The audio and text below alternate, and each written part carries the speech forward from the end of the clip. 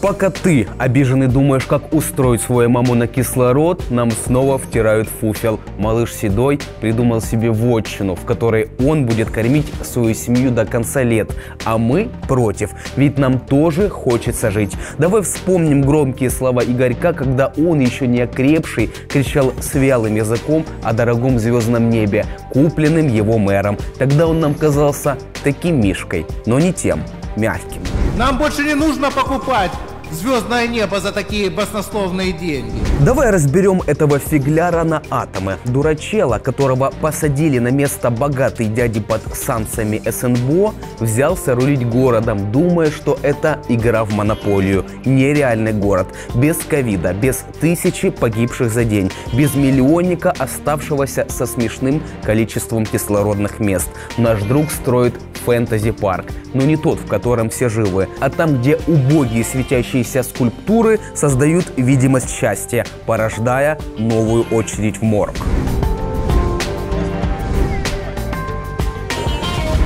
А теперь в стиле дичи, чтобы не грузить. Давай про обещания. На пальцах разберем гениальное звездное небо дорогого покрова за 33 миллиона. Нам с вами нужно наводить порядок, чтобы ни одна копейка бюджетных средств никуда не ушла. Нам больше не нужно покупать звездное небо за такие баснословные деньги. И это не будет больше.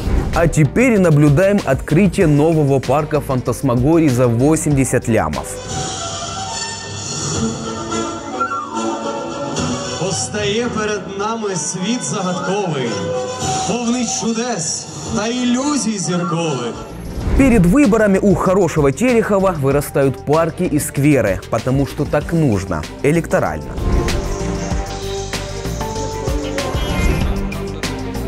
Да и там проеб. Электорат не рад. В рифму, как у шнура, насчет депутатов-пидоров. Но мы идем дальше. И от каждого живущего там я слышу одно. Стало очень шумно. Шумно. Очень мешает музыка. Птицы громко поют. Они же включают музыку по вечерам. Такого не было раньше. Он был тихий, спокойный местный парк. людей, море людей. Меня возмущает, что большое скопище людей, несмотря на то, что сейчас по тысяче с лишним заболевших ежедневно. Вот это меня просто бесит. Освещение, оно очень сильное. Слишком много света. Очень большие пробки, не проедешь, все запарковано. Нет нормальной парковки. припаркуются везде, и люди свободно не проедут. Пытаются заезжать машины, здесь пробка. Вот я с работы заезжаю вечером, очень тяжело. Выехать невозможно, в вечернее время не проедешь. Мы, конечно, ожидали другого. Давай по факту. Не будь глупым. На 80 миллионов гривен в среднем можно было купить 4000 кислородных концентраторов, которые нужны умирающим, или 8 миллионов проездок в метро, по-гроссоветовски. Ну прикол же, сука, 4000 концентраторов, выдающим кислород, а не ебаный парк. Но все норм, мы продолжаем. И после 31 числа ничего не изменится, потому что в Харькове есть традиции чиновничьи.